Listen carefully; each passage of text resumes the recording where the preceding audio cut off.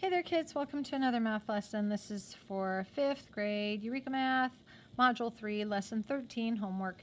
And as always, you should have already watched the problem set video and you should already have completed this homework. This is just a check, concept check. Did you get it? How'd you do? Check your answers and hopefully if you got it wrong, you'll see what you did wrong and then you'll do better going forward. Okay. The objective here in this lesson is at the bottom of the page, use fraction benchmark numbers to assess reasonableness of addition and subtraction equations. So we're just trying to figure out, are these answers reasonable or what's close? What's this, you know, greater than one, less than one? What would be the right answer? So uh, we're gonna circle them. It's pretty easy on the front with just circling, but here's why. Okay, the first one, one half plus four ninths. So when you think about half, where does half fall and what exactly is half of 9? Well, if half of 10 is 5 and half of 8 is 4, then I have a little bit less because half of 9 would be 4.5. So if I have exactly a half and a little bit less than half, then I would have a little bit less than 1 for my answer. So hopefully the key is here in this one. Hopefully you understood what that was. You want to really be able to identify where is the half. For the next one, if I have 5 eighths and 3 fifths, so if I have 4 eighths, that would be half, so I have more than half here. And if I have 3 fifths, half of 5 would be 2 and a half. So I have more than half and more than half, so easily this one is greater than 1. For this one, you have to look at the size of the fractions that you're dealing with because 1 and 1 fifth is pretty small. Think about the size of the pieces of the denominator. And if you have 1 fifth versus 1 third, this is actually a bigger fraction than this one. So if I have 1 and a little tiny bit, but I'm taking away more than I had of the extra, then I'm going to go down below and I will have less than 1. 4, 4 and 3 fifths minus 3 and 3 fourths, uh, you're going to be taking away, just like we did before. You can think about your 4 minus 3, so that gives you the 1, but now I have, again, comparing the size of the fractions. 3 fifths minus 3 fourths. So I'm going to be taking away a bigger amount than I had before. So I'm going to be going below 1, and so your answer is less than 1. For number 2, now we're not just dealing with 1, we're dealing with a half. So are the following expressions greater than or less than 1 half? Circle the correct answer. Same thinking process here. What is the sum when I have a tiny little bit that is one out of five. It's less than half. Most of these are going to be, remember, we're, we're not dealing with one, we're dealing with a half. So we may not even get up to a half. So I have a little tiny piece, one out of five, plus, like it says in the problem set video, think about the quarters. So where will I be? I'll still be less than half because if I have a quarter, but less than that, I will be ending up with less than the half for my final answer. How about this one? Six sevenths is almost the whole thing, but it's not the whole thing. Minus one out of six parts, which is really quite small. So you're not really taking that much away from something that's almost one. So your final answer is greater than a half a lot of students will actually solve all these and I'm, I'm, I'm talking you through them so that you can see, hey, you can just kind of estimate. Could you actually sit there and solve them? I guess you could, but nobody really wants to do that and you certainly don't have to on this lesson. It's just assessing reasonableness is our goal. Um, okay, so we have 1 and 1 seventh, so just a little bit over 1. 1 seventh is a very tiny amount, but then 5 sixths is a a pretty big amount. That's almost the whole thing. So if I have just slightly more than one, but I take away almost one, that's going to put me down here less than half. Next one, 4 sevenths. Again, I have more than half. Half of 7 is going to be three and a half. Okay, plus a tiny little bit. So if I have more than half already and I add to that, greater than half. Okay, at the bottom we've got greater than, less than, or equal to uh, symbols. And so you just have to be reasonable about the size of your fractions. It gets a little bit challenging, so hang in there. So if I have my whole numbers and I have 5 plus 2, that makes 7, okay? That's still less than 8. However, we have to consider these two fractions compared with this one. 4 fifths is almost all the pieces out of 5, just like 3 fourths is almost all the pieces out of 4. But then I have a whole bunch more, 2 out of 3 pieces, that is almost all the pieces out of 3. Okay, so I have five, six, seven. Then I have, this would make almost the 8. So then I add a little bit more to that. Okay, I am finally to the 8 when I take my 7 plus this one that's almost one whole, and this would bump me over 8, but not by much.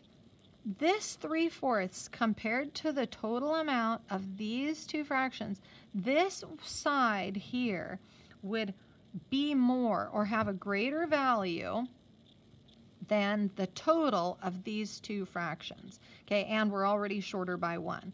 So we what we need to do is we need to make up like one and more, three fourths, from the difference between the five plus two, which only makes seven, and I have to get up to the eight and have three fourths, and that's just not enough with those two fractions. Even though they're pretty big fractions, it's just not enough. Okay, for the subtraction now, now you have to think about, here's where I start, and I have to take this away. So you really have to reason it out. I have three and slightly more than a half, okay? And if you have three minus two, that'll give you one, but I still have to take away three fifths. This is slightly more than a half. This is slightly more than a half. So I have to take that away, okay?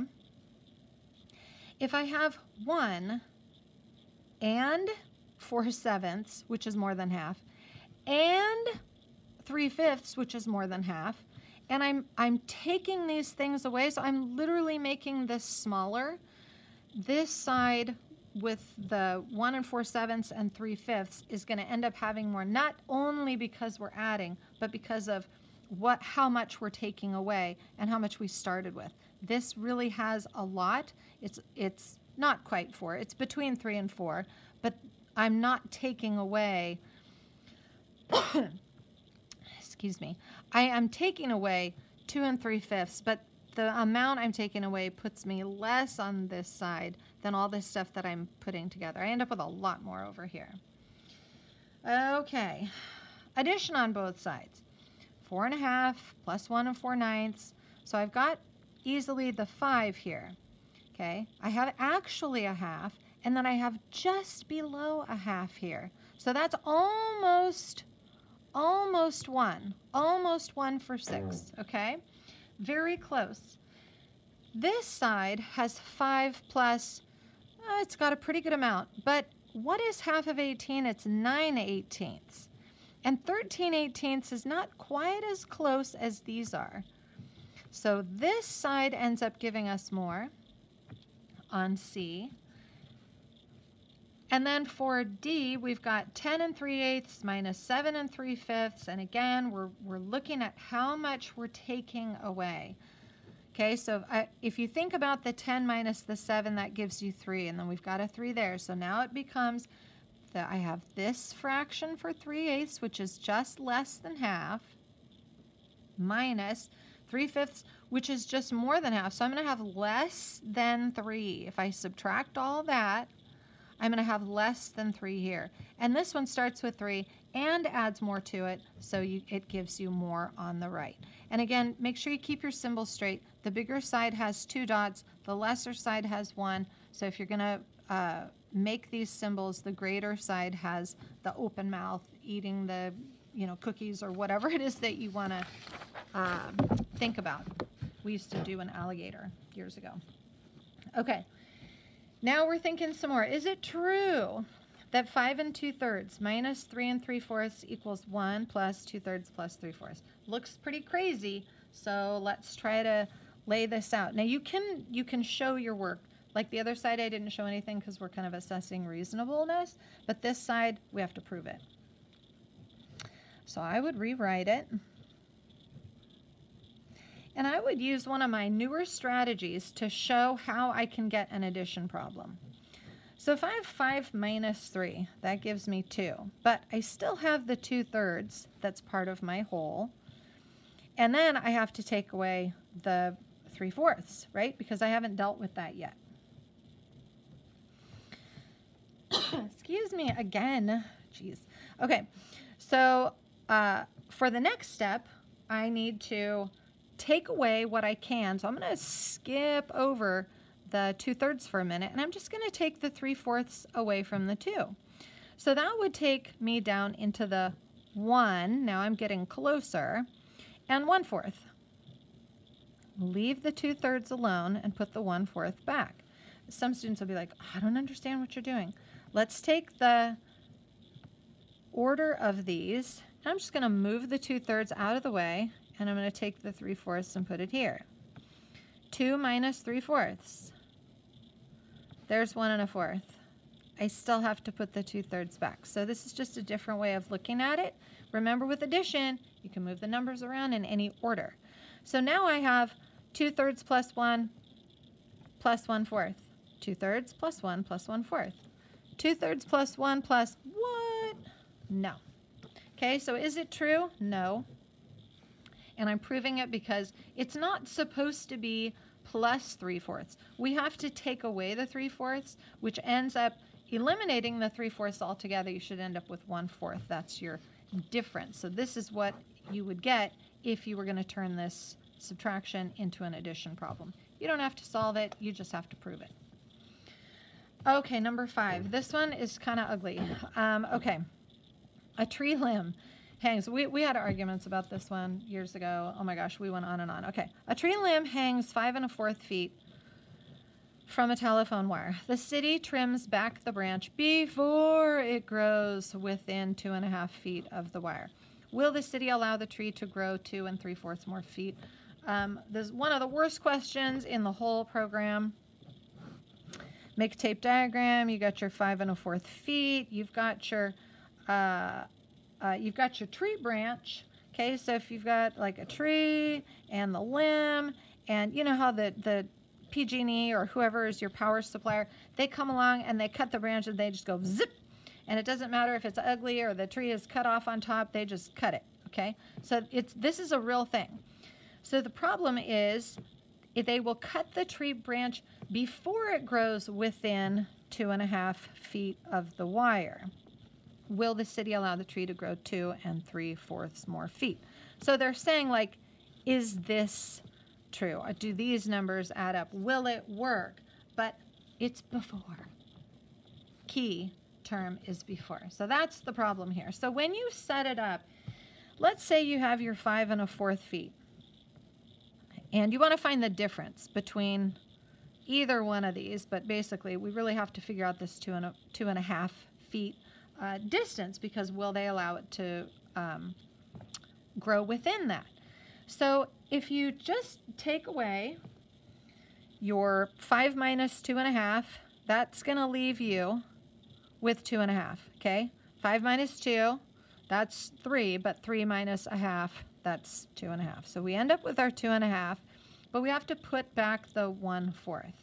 So instead of having 2.5, change it to 2 and 2 fourths. And you get two and three fourths. Now here's where this is why it was such a nightmare for a lot of kids and why it doesn't make any sense uh, to a lot of people. If you get the exact answer, will they allow it to grow two and three fourths more feet? The answer is no. Okay. And some students will, will argue and they'll say, well, yes, they, they can get, you know, two and three fourths feet exactly, but they have to cut it before it grows within. And, and the key word, the one that really matters here, is the word before. The answer is no, because they won't let it go the full distance. That's the big idea. And I'm sure they'll be there with their inch ruler measuring it exactly, and they'll be there that day. Okay, it finally got there with that one last centimeter. Anyway, the answer is no. Uh, the city will trim the tree. Okay, so they try to watch out. They don't want any power outages before it grows within two and a half feet. Okay, so I hope you understand that one. It's kind of crazy, uh, but that's the answer.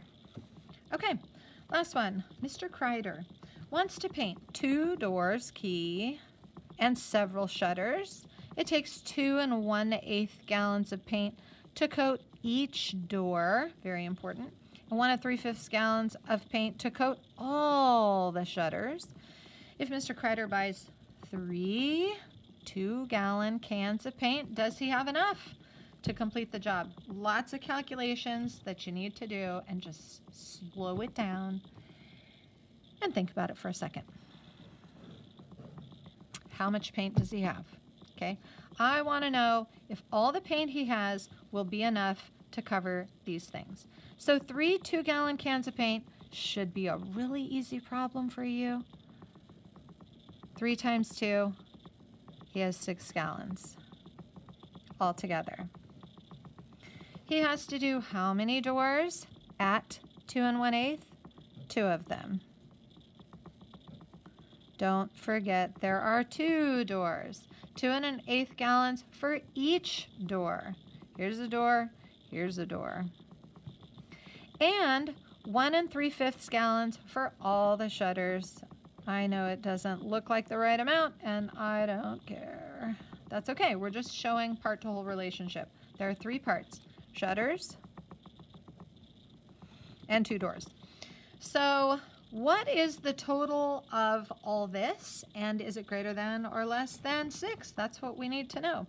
So this is a pretty easy addition problem. You can do it without even writing anything because your common denominator is already there. 2 and 1 eighth and 2 and 1 eighth would make 4 and 2 eighths. There go the lights. It's on. The show is about to begin, or end, or something. It's going to end really soon. Okay, 4 and 2 eighths plus the 1 and 3 fifths. And now if you, okay, now we can kind of assess reasonableness. If you want to, you don't actually have to calculate. At this point, you should start saying, how does this compare with six gallons and do we have enough? Okay, four plus one being five, and then two eighths being much less than half, it's a quarter, okay, and three fifths being only slightly more than a half, then I know that um, he has just enough. So my answer really is yes, he has just enough. Click subscribe and come back again. I hope to help you on your math videos. Uh, math homework, math videos. Don't, you can make math videos too. Uh, yes, he has just enough to finish the job. And if you want to finish this whole thing out, what I would do is I would simplify this and turn it into four and a fourth before I do any calculations because 4 and 5 have a lower denominator. And if you have to use 40, gosh, that's going to be a lot of work. So you can change these to 20ths and actually get the answer, which is not the objective of this lesson. Um, but you, you can actually do all the work if you want. So here's your 5, and here's your 12, and then you would have 4 and 17 20ths compared to, I'm sorry, 5. My bad. 5. 4 plus 1 is 5. 5 and 17 20ths compared with 6. And then you can see that 6 is actually greater. So super close, but yeah, he has enough paint. So anyway, hope this is helpful. And we'll see you on the next video. Bye for now.